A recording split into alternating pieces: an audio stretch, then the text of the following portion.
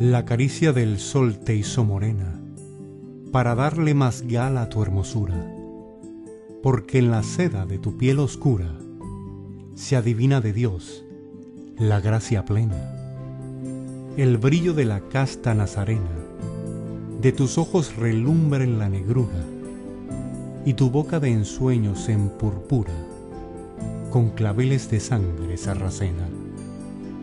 No eres Laurí, que en habita, ni el genio de los nobles alminares,